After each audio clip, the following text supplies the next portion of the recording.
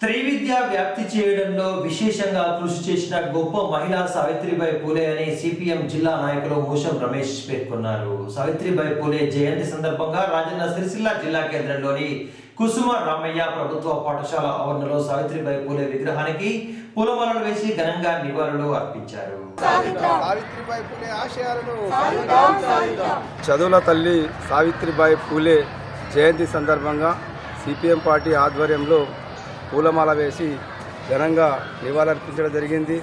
మరి ఆమె ఆమె ఆశయాలను ఈరోజు ప్రతి యువతి యువక యువకులు సాధన కోసం కృషి కృషి చేయవలసిన అవసరం ఎంత ఉంది మరి సావిత్రిబాయి పూలే గారు ఆనాటి కాలంలో మను ధర్మ సంస్కృతి సందర్భంలో చదువులపై చదువు కొరకై మహిళలను అలగారి వర్గాలను దూరం ఉంచిన సందర్భంగా మరి సావిత్రిబాయి పూలే గారు మరి తన భర్త వద్ద చదువు నేర్చుకొని మహిళలకు చ- చదువుకునే వాళ్ళు లాభపడతారు వాళ్ళ స్వయం శక్తి మీద ఉపాయ ఉంటారు.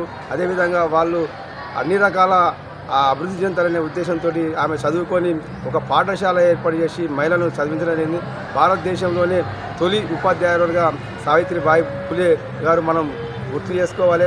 ఆమెకి ఇట్లా ఆ చదువు చదవకుంటే ఈరోజు మహిళలు చదువుకునే అవకాశం లేకుండా పోయేది. ఈరోజు మహిళలు ఇంత అభివృద్ధి సాధిస్తున్నారంటే సావిత్రిబాయి పులే గారి ఆమె చేసినటువంటి కృషి ఆమె చే- చేసినటువంటి పోరాట ఫలితంగానే ఈరోజు మహిళలు ఈరోజు మన ముందుండి అందరికి సమానంగా హక్కులు పొందుతున్నారని ఈ సందర్భంగా తెలియజేస్తా కాబట్టి రాబోయే కాలంలో సావిత్రిబాయి పూలే గారి ఆశయాలు ప్రతి మహిళ గుర్తుంచుకొని ఈరోజు ఆమె ఆశయాలు ముందుకు తీసుకోవాల్సిన అవసరం ఉంది. ఈరోజు బీజేపీ ప్రభుత్వం చూసినట్టయితే మొత్తం విద్యను వైద్యాన్ని అన్ని రకాల వ్యవస్థను మొత్తం ప్రైవేటీకరించి కాషాయం చేస్తూ అదేవిధంగా మొత్తం విద్యను అనేది పేదలకు అందకుండా దూరం చేసిన పరిస్థితి లోపల మరి విద్య అందరికీ అందాలనే ఉద్దేశంతో ఆమె చేసింది. అదేవిధంగా రాబోయే కాలంలో విద్యను అందరికీ అందే విధంగా పోడవలసిన బాధ్యత ప్రతి ఒక్కరికి ఉందని సందర్భంగా తెలియజేస్తాను.